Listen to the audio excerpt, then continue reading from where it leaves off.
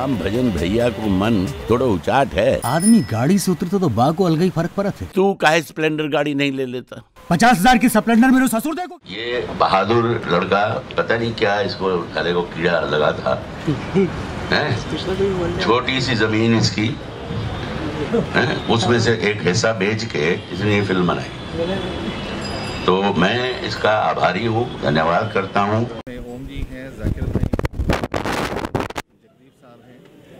और बहुत अच्छे अभय जोशी हैं, सीमा आजमी हैं बहुत सारे आर्टिस्ट हैं जो आपने ट्रेलर में देखा होगा। और आई थिंक कि पब्लिक को पसंद आएगा और एक बार जाने के बाद, देखने के बाद लोगों को मज़ा आएगा बस। तो कोशिश करते हैं अच्छी बने, अच्छी कहानी है और डायरेक्टर का पहला काम है फ़िल्म ये वाली। और हमारे साथी कलाकारों ने बड़ा अच्छा काम किया है। तो मुद्दा इसमें बहुत स्ट्रांग है। गरीब आदमी वहीं का वहीं रह जाता है। उसका इस्तेमाल करते हैं वो। तो अच्छा एक मुद्दा है, जिसमें एक अच्छी प्यारी सी हंसती खेलती फ़िल्म बनाई गई है।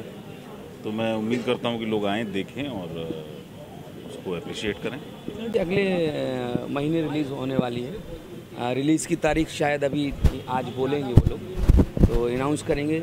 मैं इसलिए नहीं कर रहा हूँ क्योंकि उन- लोगों को अनाउंस करना है। और में जब मैं गया था तो मुझे लगा, पता नहीं, ऐसा नहीं डायलॉग भूल जाऊँ या ये कुछ बोल दें। लेकिन शूट होने से पहले ही उन्होंने मुझसे दोस्ती कर ली थी। और ऐसा कर लिया था कि मैं उनसे जो पहले डर रहा था वो डर मेरा ख़त्म हो गया। Harvard people raping backward people and backward people raping Harvard people.